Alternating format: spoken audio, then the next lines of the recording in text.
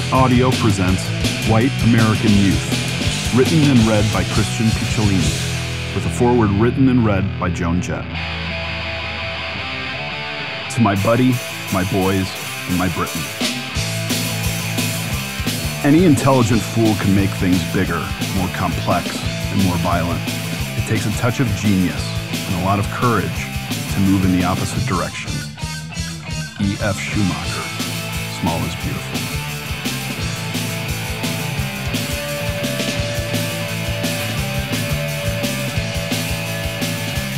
Foreword. The universal struggle for identity and belonging is what binds us all together. It is this search, ultimately, that makes us human, It makes us, especially as children, vulnerable. In the 1970s, when I was in the Runaways, the first all female American rock band ever, I experienced all types of prejudice and bigotry as a woman. Sometimes it was all I could do not to give up altogether. But my guitar, along with my pen and my voice, led me out of that hollow fear and into a long and successful rock and roll career. One that thankfully I am still riding the powerful wave of today. Thanks in large part to Kenny Laguna, my producer, manager, close friend, and lifetime confidant. I have arrived at this level of commercial success and have been able to carve out a life in music. Kenny was then and still is very much a mentor to me. Without his direction and aid, I would not be where I am today. He believed in me when most others didn't. I met Christian Picciolini in 1996 while on tour in Chicago. I did not know about Christian then what I know now. We needed an opener, and when I saw his punk band, Random 55, warming up on stage, I saw something special in their style and knew from someplace deep inside that they were the right ones. I approached Christian, who seemed low and withdrawn, backstage after the set. He seemed sad for some reason, and I talked with him for a little while, throwing my arm around his shoulder, trying to assuage his fears. I sensed that Christian had been like me as a struggling teenager, in a dark place, searching for identity and belonging, acceptance. He needed someone to believe in him. Random 55 ended up going out on the road with us that year, becoming our opening act for a string of shows. Christian and I had many more meaningful conversations, and I like to think that some of what I had to say helped him cope with whatever he was going through. I will always recall his dedication to music and his drive. I could tell that, at the time, he was seeking something from life, from his soul. Now he has written this incredible memoir, detailing and forcing out the truth after all these years.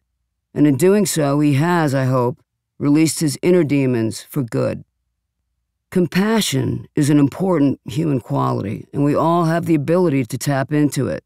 I have it for Christian's former, younger, troubled self.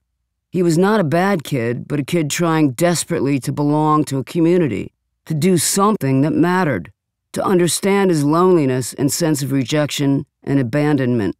Hating the LGBTQ community, non white minorities, Jews, and others when he was involved with the white power skinhead movement is tantamount to a disgusting and immoral blind allegiance to hatred. And yet, Christian managed to do the one great thing that anyone who has ever been in his position, or is in his position today, could do he learned to recognize his blindness, to see how violently corrupted he'd become. He was able to pick his head up from the muck of that ideology and see the error of his ways, to steer the ship in the other direction, and to get out. He not only left and at last denounced the movement in the late 90s, he went on to become a powerful voice against hatred, co founding the nonprofit Life After Hate in 2009 and launching North America's first extremist intervention program. White American Youth is Christian's testament to how frighteningly easy it can be to find yourself down the wrong rabbit hole with no way out. It is his tale of the only kind of redemption he will ever know.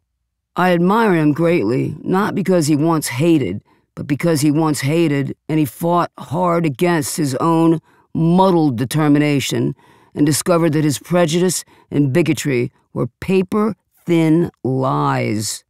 We all have to discover life on our own path, find our truth. Christian writes his book to expose his truth, and we can be grateful in at least some small part for his courage in confessing how he ran on the dark side and what it's like to find yourself there and then breathlessly sprint for the light at the end of the tunnel. The result is a cautionary tale that furthers and educates us all. In the end, we all need guidance, direction, and help along the road of life. We all need a mentor. For many, music is a major influence, and that can be used for good or bad. I was able to find myself through music, and in a way, so did Christian. That night after the gig, throwing my arm around his shoulder was my way of showing empathy, compassion, telling him that whatever he was feeling, I, like so many others, had been there too. Taking his band on tour was my handing of trust over to him. Like Kenny with me, I hope I was able to lead him, if only for a moment, out of the deep fog hovering around him. Christian pursued music in other capacities after that tour, and he maintained contact with Kenny and me through the years. I am so incredibly proud of his life's work since he left the White Power movement in 1995, and I can see the real change and transformation he has made. So, if you want to practice empathy, or if you just want to experience one hell of a redemption story, come along for the ride and find out how it all started where it went, and why it ended. Take the journey with Christian and let yourself fall down alongside him. Feel the despair, the violence, and rage as a young, impressionable boy climbs the rungs of the violent American white supremacist movement. Feel his fear and depression as he finally exits. Feel his sadness and hollowness after the battering waves of fear and isolation have at last ceased and beautifully watch him change and grow, evolving into a fine human being who accepts all people, including himself. Watch him turn into the man he always, deep down inside, wanted to be. Watch him make you proud to be a part of his experience, a part of this diverse, global community, a part of this world. Watch yourself change along with him. Joan Jett. Introduction Charlottesville, Portland, New York City, Charleston, Oak Creek, Atlanta, Overland Park, Los Angeles, Denver, Las Vegas, Oklahoma City, Chicago, Washington, D.C. Most people claiming any one of these fine American cities as their hometown will boast of their charming countryside, rolling landscapes, or bustling metropolitan abodes. But what they typically fail to acknowledge, what they may not even know themselves, is that in recent decades, these cities and countless others across the United States have also been the sites of horrific, modern day white supremacist terror attacks and killings. Perhaps we've all heard of the few examples of these tragedies that received the proper contempt in the media the horror in Oklahoma City in 1995, unleashed by white supremacist Timothy McVeigh, who, in a devastating act of domestic terrorism, bombed a federal building, killing 168 innocent civilians. The mass murder of nine African American churchgoers in 2015 within the sacred walls of Charleston, South Carolina's historic Mother Emanuel Church. The alt right rally in Charlottesville, Virginia, in the summer of 2017, attended by hundreds of torch wielding, clean cut, young white men in pressed khakis and polo shirts who marched and chanted, The Jews will not replace us, a promise that one extremist attempted to follow through on when he sped his muscle car into a group of unwary counter protesters, killing a brave female activist and ending her promising future.